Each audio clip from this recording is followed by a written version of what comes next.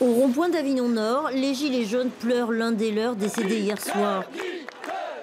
Ils se sont tous cotisés pour déposer une gerbe à l'entrée de la Sète où Denis avait ses habitudes.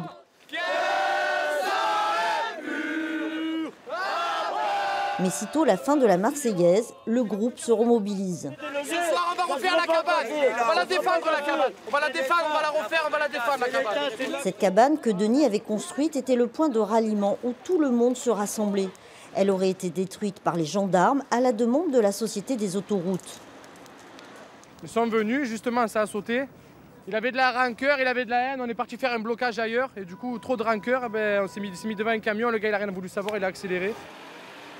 C'est à l'autre sortie de la 7 que le drame s'est déroulé au rond-point de Bonpas. Un autre groupe de gilets jaunes se réorganise pour bloquer à nouveau ce rond-point devenu symbolique. Ici, l'appel du gouvernement à ne pas manifester samedi et à lever les barrages n'est pas entendu.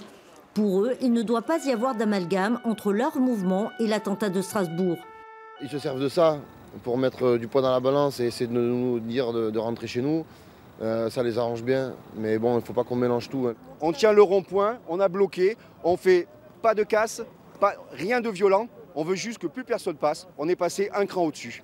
Mais toujours pas de violence. Les signes de tristesse, de colère et de fatigue sont palpables chez les Gilets jaunes, mais rien ne les empêchera de défiler samedi dans les rues d'Avignon.